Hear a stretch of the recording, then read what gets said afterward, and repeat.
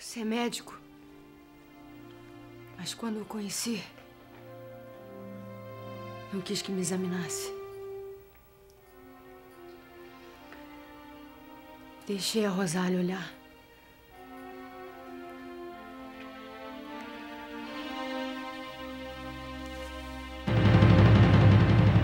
Agora entende por quê? Você. Mas. Mas. Como, como foi que aconteceu? Eu vou lhe contar. Desde o início. E foi a pedido do Sr. Pereira, o português aqui de Santana? Exatamente. Tem certeza que era para a dona Idalina Menezes de Albuquerque Silveira? Absoluta. O cocheiro está esperando pela envelope. E dentro da envelope tem uma chave. Eu sentia. Uma chave? Chave de onde? Eu não sei, eu não li a beliche. Envelope lacrado. Um bilhete do Sr. Pereira para minha avó. Com uma chave. Agora já sabe tudo. Quis contar mil vezes, tive medo. No começo, confesso, achava que podia aproveitar a sua companhia enquanto fosse possível. Mas depois.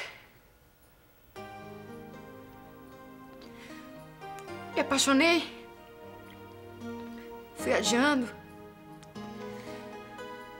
Você me pediu em casamento. Comecei a sonhar.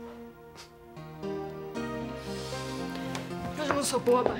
Sabia que um dia esse momento ia chegar. Me desculpe. O que está fazendo? Você vai entender, eu posso ficar. E se nós nos casarmos antes de viajar? Casar? Para viajar depois, senhora casada pode ser mais fácil, sim. Pode, mas você ainda quer Por que casar. não quereria? Só temos que achar um jeito de resolver isso. Mariana, sua vida. A minha vida é com você. Pensei que já tivesse entendido. Mas casar com... Casar com você que eu sempre quis. A única mulher que eu amei, a única que eu vou amar. Não mudou nada, Olivia. Eu sou o mesmo, você é a mesma. Mudou sim. Você ainda é muito melhor do que eu já sabia.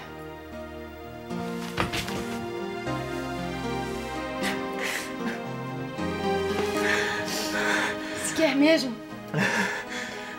Casada pode ser mais fácil viajar assim. Chama menos atenção. Eu caso com você hoje, caso amanhã, caso o tempo que for preciso dos programas. Casamos e viajamos juntos, depois ficamos juntos.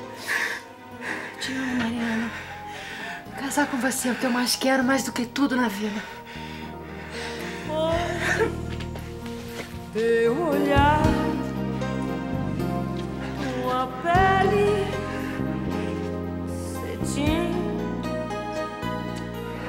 Olha, eu tenho um comprador, um, um comerciante de Campo Lindo de confiança. Ele pretende se estabelecer aqui em Santana. Mande me procurar. Mas você precisa baixar o preço, hein? A loja não vale tanto assim, italiana.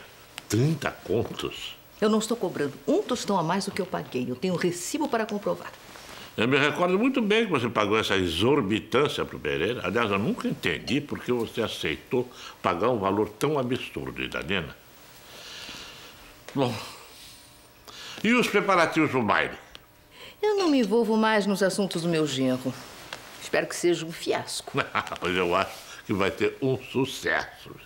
Até o Bivilacqua, que não sai da fazenda por nada, já, já confirmou a presença. Viu? Claro que Dona Maria Antônia não vai estar aí, porque Dona Maria Antônia está na corte. E eu acho que ela não chegará a tempo para o baile. Sorte a dela. Ai, eu tenho que voltar para a loja, tenho que me empenhar em vender o estoque. Senão não terei como pagar nem a, a inútil da Ivete. Eu vou esperar o Leopoldo acordar da cesta, viu? Ele me deve uma revanche no Gamal. Felício, Obrigada pelo seu interesse em me ajudar. Fico feliz em ver que me resta ao menos um amigo como você.